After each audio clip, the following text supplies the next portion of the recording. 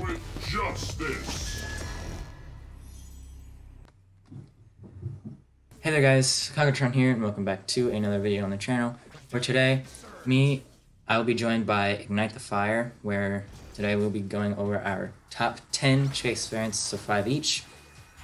Um, so before we get started, I just want to give a special shout out to Ignight the Fire for joining me for this one, where I think we're going to start out with him, so I'm going to let Hey guys. I've got a spark which I'm going to use to ignite the fire for a brand new uh, collaboration, but this time it's going to be with Conquertron. Now this has been a long time in the making, so my apologies if the video has taken me this long to get around to, but regardless, we're talking about our top 10 favourite chase variants. And boy, my list is a rather interesting one because it kicks off with a Christmas chase variant that, at first glance, from a photo, you wouldn't think looks all that impressive. But I have the luxury and the pleasure of actually owning Snowbright Stormblade here, and in person, she looks a lot better than she does from any photos. In fact, this video here isn't even doing her justice. So first of all, they did change up the background art for this chase variant, which very rarely occurs. It's only really for Christmas chase variants they wind up changing even for packaging for.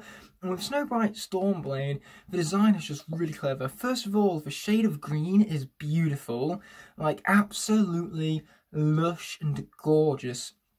But it's green and gold to really symbolize the colors of a Christmas tree because you often have the luscious green with the, of course, gold tinsel and stuff.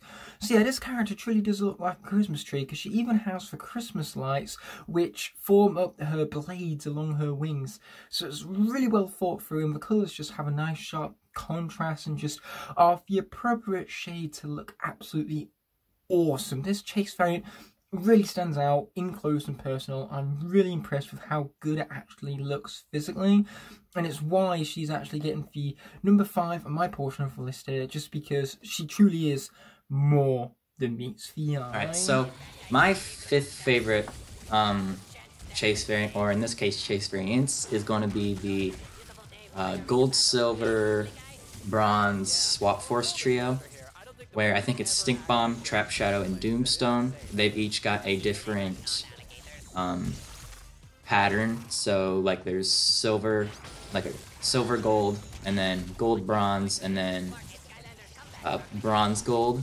which is I forget which one is assigned to what, but I I thought they're all pretty cool because I actually quite um like the bronze and gold and silver looks just on Skylanders alone, and I really like the fact that if you collect um all of them and you you kind of have to take them out of box to get like gold and gold, silver and silver, silver and silver, and bronze and bronze.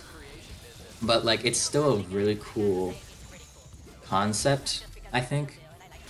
Um, yeah, which is why that's my fifth favorites, or like seventh, sixth, fifth, I guess. I don't know. Seems to be kicking off his list with some rather strong uh, chase variants, mind you. But next up for my personal list is going to be a crystal chase variant. Now we see these in abundance for, of course, for uh, throughout the Skylanders franchise, you say, to be specific. But there is one which stands out above the rest, that being Crystal Tuff Luck. Now, what is it about Crystal Tuff Luck that is as awesome as it is? Well, the fact that the entirety of the figurine is translucent for figure, for actual base itself as well, which means that the really sharp red that you see from the bottom of the base really seeps through very well.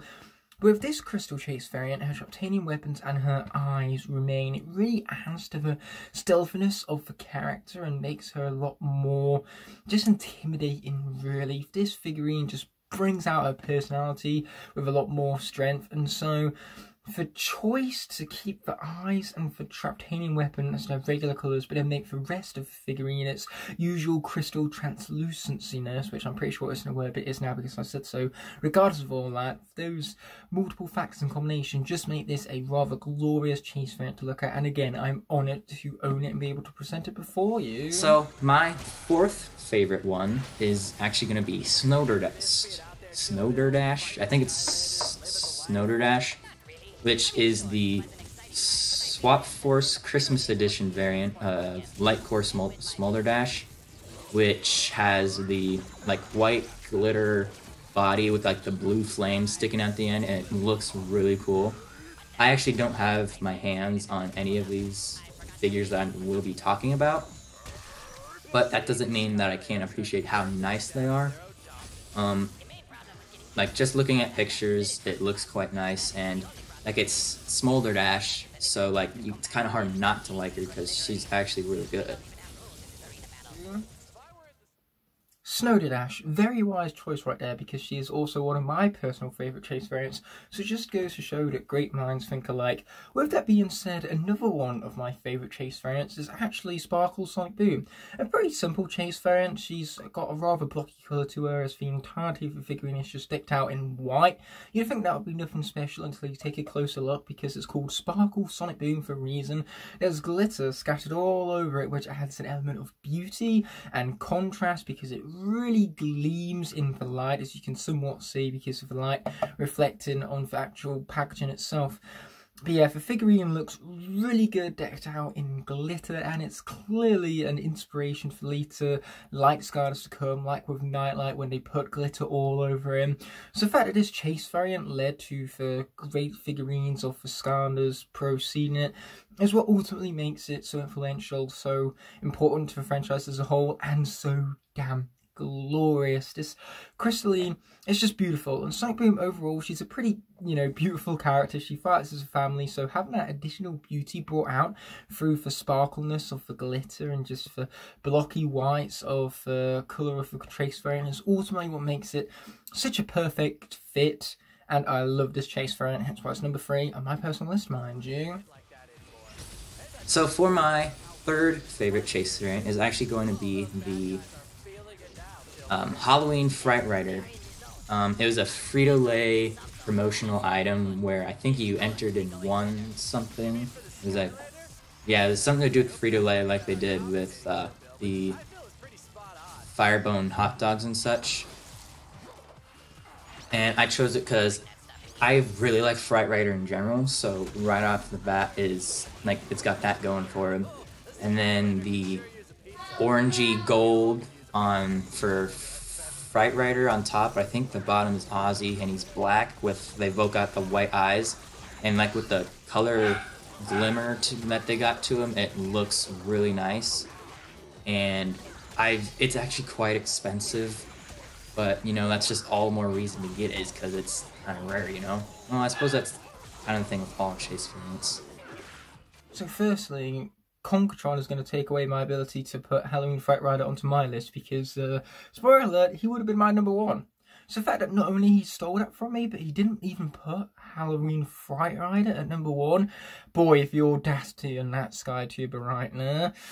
Oh, he got this deadly wrong because this variant is too glorious, too detailed to dare be kept within its packaging. I couldn't help myself but unbox it. That also, it really annoyed me looking at the packaging, seeing how damaged it was, so I wound up unboxing it anyway because it was pretty much already there, given how damaged the packaging was. But enough of my rambling, this chase variant is great. I am glad it made an appearance on Conquertron's list, but again, it deserves number one. So with that being said, we can't both have the same chase variant on both our lists, can we? So I'm going to put him to one side gently and tell you what my true number two is going to be. Metallic Chrome Spyro, the only chase variant on this list that I do not own because it is ridiculously expensive. And it's so obvious why, because it looks so damn good. It's a metallic that truly is incredibly shiny. Like you thought Sparkle Sonic Boom was shiny and sparkly. Well, that ain't nothing in comparison to uh, Metallic Chrome Spyro. It looks glorious, it really fits the design, just this metallic like dragon. It's the main reason why Metallic Cynder is so cool, given that the purples are really intimidating and also shiny, but that didn't make the list. It's Metallic Chrome Spyro that we're here to talk about, exclusive to E3 of its year. And it's just, it looks really damn cool. I'm sure photos don't do it justice, which is why I'm looking forward to owning it someday. But still, I just love the shine, the gleam, and the crisp look of figure. It's just so perfect for Spyro's traditional dragon design, mind you. Hence why it's number two on the list, and I do hope to own it someday, like the other Chase variants I have on my list, for example. Alright, so my for my second pick, I actually do don't have this figure standard version, and that is going to be Rock Candy Pinata. I chose this figure because it looks really cool. I really like the like the translucent trans translucent um, blue down to like a starts like deeper and then goes um, lighter kind of clear color and like I don't have pinata which just makes it all the more coveted to me which is why if I ever do get rock candy pinata before I get pinata that'll just make it all the more special and I've kind of got a thing for blue chase variants kind of like that because like Snowderdash and I think the upcoming pick first pick is also blue and I just think all the blue and like like December looks really nice. It's got the same thing with uh, Rock Candy Pinata, Stormblades Chase variant. I don't think that's blue, but for some reason I can't get it out of my head that it's got a blue tint. But Candy Pinata has definitely got to be my second favorite. But number one is going to be a chase variant very close to my heart. Is Golden Snowflocked Prism Break.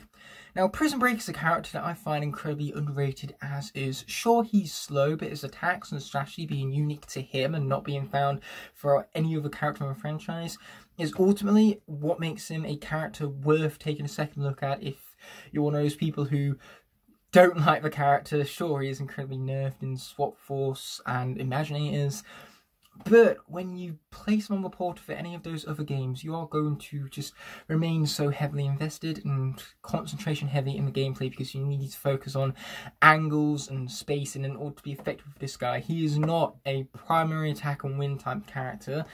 So that alone makes Prism Break really interesting to me, but seeing a light core effect that is as bright and as strong as it is, decked out in gold, I mean, gold just truly is the most wealthiest, most coolest colour you could apply to anything, and it's scattered all over this figurine here. It's all over it.